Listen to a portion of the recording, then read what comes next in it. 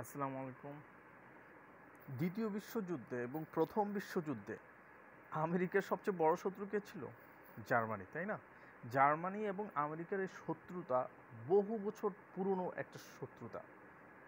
কিন্তু মাঝখানে আমরা দেখতে পেয়েছি যে আমেরিকার সাথে জার্মানির বেশ একটা ভালো সম্পর্ক যাচ্ছিল। কিন্তু এখন যে তৃতীয় বিশ্বযুদ্ধের মতো একটা পরিস্থিতি তৈরি হয়েছে কোভিড নাইন্টিন করোনা ভাইরাসের যে যে আক্রমণ পৃথিবীতে, যেটি লক্ষ লক্ষ প্রাণ, কোটি কোটি প্রাণ হয়তো বা নিয়ে যাবে, আল্লাহ ভালো জানেন। এই সময় এসে আমরা দেখতে পাচ্ছি আবারও সে জার্মানি এবং ইউএসএ মুখোমুখি অবস্থানে এসে দাঁড়িয়েছে।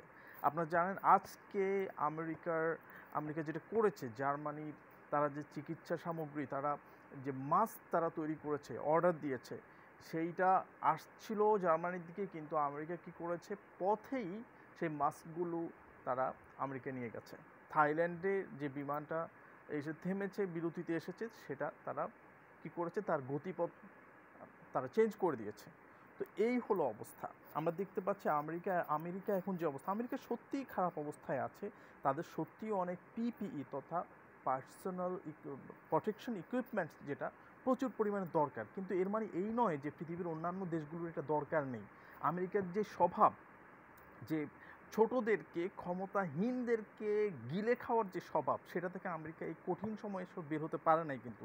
আপনারা দেখেছেন তারা জার্মানির সাথে যে আচরণ করছে, এদিকে কানাডার প্রধানমন্ত্রী নিজে বলেছেন যে আমেরিকার এই বিষয়টা নিয়ে যে তারা পিপিইর বিষয় এতটা পাগল হয়ে গেছে, তারা অন্যান্য দেশের যে গুরুত্বটা, অন্যান্য দেশেরও যে এই বিষয়টা প্রয়োজন রয়েছে, সেটাকে তারা কোনো তোয়াক্কাই করছে না, কোনো গুরুত্বই দিচ্ছে না।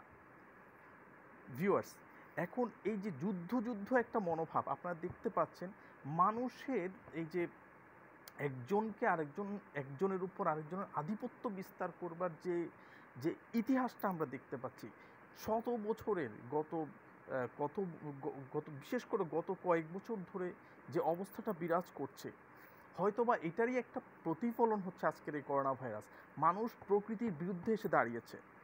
আপনারা দেখতে পাচ্ছেন যে গত কয়েকদিন ধরে মানুষের জন্য যদিও খুব খারাপ দিন যাচ্ছে, প্রকৃতির জন্য, নেচারের জন্য মনে হয় যেন শুভ দিন নেমে এসেছে। তাদের যেন ঈদ। আমরা দেখতে পেয়েছি বাংলাদেশের কক্সবাজার সমুদ্র সৈকত। সেখানে আমরা দেখতে পাচ্ছি ডলফিন, তারা হচ্ছে নাচানাচি করছে, লাফাচ্ছে আনন্দে। যে মানুষ মানে প্রকৃতির উপর, প্রকৃতির বিরুদ্ধে মানুষের যে অবস্থান, সেটা থেকে মানুষ সরে এসেছে। মানুষ ভয় পেয়েছে, মানুষ ঘরে ঢুকে পড়েছে। প্রকৃতির প্রাকৃতিক সম্পদ যেগুলো আল্লাহ সুন্দর যে সৃষ্টিগুলো, তারা কিন্তু বেরিয়ে আসছে এখন। আমরা দেখতে পাচ্ছি কলকাতায় আজকে ময়ূরের নাচ দেখা গেছে। কলকাতার বিভিন্ন জায়গায় ময়ূর এসে পেখম মেলে নাচ শুরু করে দিয়েছে। আমরা দেখে, দেখতে পেয়েছি যুক্তরাজ্যের লিভারপুলে ভেড়ার দল নেমে এসেছে রাস্তায়। তো প্রকৃতির যে উল্লাস, যে যে বিজয়, সেটা আমরা এখন দেখতে পাচ্ছি। এখন এই সময় এসে আমাদেরকে যেটা ভাবতে হবে যে আমাদেরকে আরও বেশি প্রকৃতির প্রতি সতর্ক হতে হবে। প্রকৃতির বিরুদ্ধে যাওয়া যাবে না। আল্লাহ ভালো জানেন, এটা আসলে কিসের প্রতিফলন? হয়তো বা এমনও হতে পারে, প্রকৃতির দোয়া, প্রকৃতির যে আল্লাহর অন্যান্য যে সৃষ্টিগুলো আছে, প্রাণীগুলো আছে, যে উদ্ভিদগুলো আছে, তাদের বিরুদ্ধে মানুষের যে অবস্থান, সে কারণেই হয়তোবা তারা আল্লাহর কাছে ফরিয়াদ করেছে। হয়তোবা আল্লাহ তাদের সেই ফরিয়াদ কবুল করে নিয়েছেন। এমনটাও হতে পারে, এমনটা হওয়াটা অস্বাভাবিক কিছু নয়। সুতরাং যেটা বলব আমাদেরকে আরও বেশি প্রকৃতি প্রেমী হতে হবে, দরদি হতে হবে।